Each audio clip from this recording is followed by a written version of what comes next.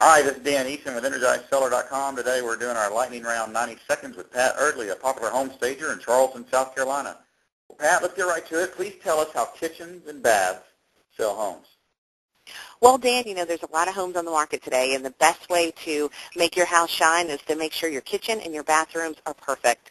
Um, one way to uh, make sure your kitchen is ready is um, outside of decluttering um, is accessorizing. Uh, making sure that you're accessorizing with kitchen-appropriate items um, like cookbooks on a stand, fruit and veggies, um, you know, in a strainer, um, those types of things. Um, also, your hardware. Updating your hardware is a really easy, simple fix that will really um, go a long way in your kitchen. The other thing is your bathroom. Your countertops, you know, clear those off. Make sure that you're accessorizing with bathroom-appropriate items.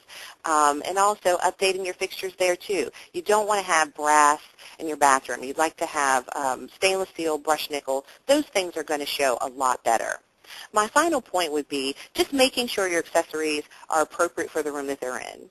Um, that will go a long way with showing your home. Okay, well, great point. How about a final thought? My final thought is your house is a commodity. You know, it is no longer your home. So make it ready for sale. Okay. Well, thanks, Pat. You did it.